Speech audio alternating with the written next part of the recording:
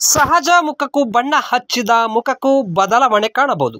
ಹಚ್ಚಿದ ಬಣ್ಣ ಬೇಗ ಅಳಿಸಿ ಸಹಜ ಮುಖ ಅನಾವರಣಗೊಳ್ಳುವುದು. ಅದರಂತೆ ಸತ್ಯದ ಮುಂದೆ ಸುಳ್ಳು ಮಂಡಿಯೂರಲೇಬೇಕು. ಸುಳ್ಳು ಸುಳ್ಳೆ, ಸತ್ಯ ಸತ್ಯವೇ.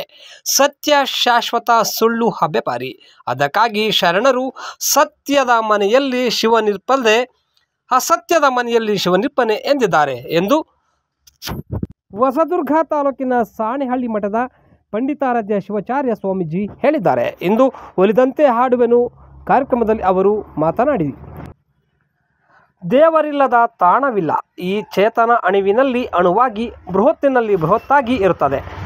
ಎಳ್ಳಿನಲ್ಲಿ ಎಣ್ಣೆ, ಹಾಲಿನಲ್ಲಿ ತುಪ್ಪ, ಭತ್ತದಲ್ಲಿ ಪಾಯಸ, ಕಲ್ಲಿನಲ್ಲಿ ಬೆಂಕಿ ಇರುವಂತೆ ಪ್ರತಿಯೊಬ್ಬರ ಅಂತರಮಿಯಲ್ಲಿ ಶಿವನಿರ್ವಹಣೆ, ಅವನ ದರ್ಶನಕ್ಕೆ ಸತ್ಕಾರ ತುಂಬ ಮುಖ್ಯ.